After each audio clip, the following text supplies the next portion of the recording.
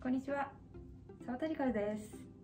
植物を見ながら話をする動画55ということで今回はココーマルを観察していきます。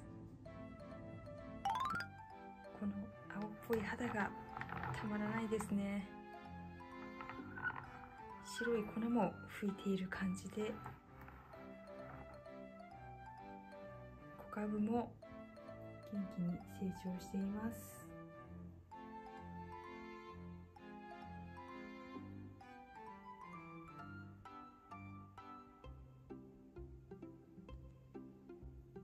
トゲが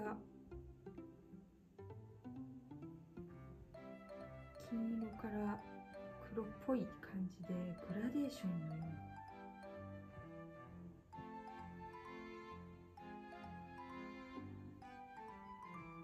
とても綺麗です。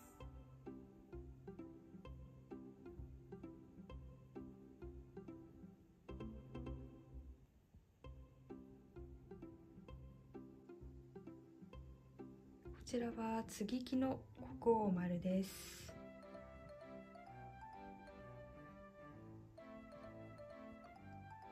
トゲについて勉強したんですがこの両の上に1センチほどの間隔で並んだ視座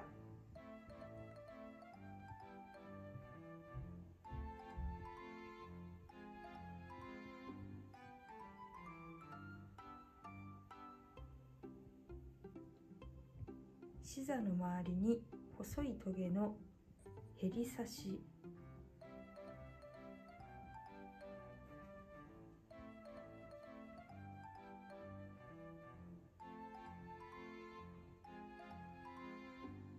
ヘリ刺しの中央に太く鋭い中札。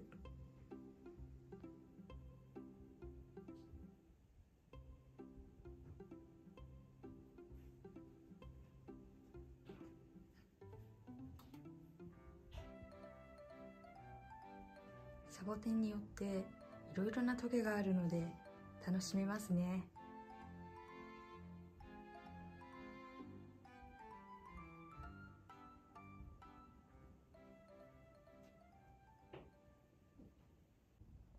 店主さんとお話をしていてやはり大きい株のコピアポア属はもう入手が困難だそうで希少なサボテンです。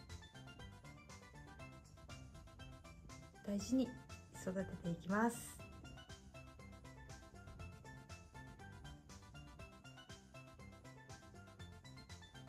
それでは終わります。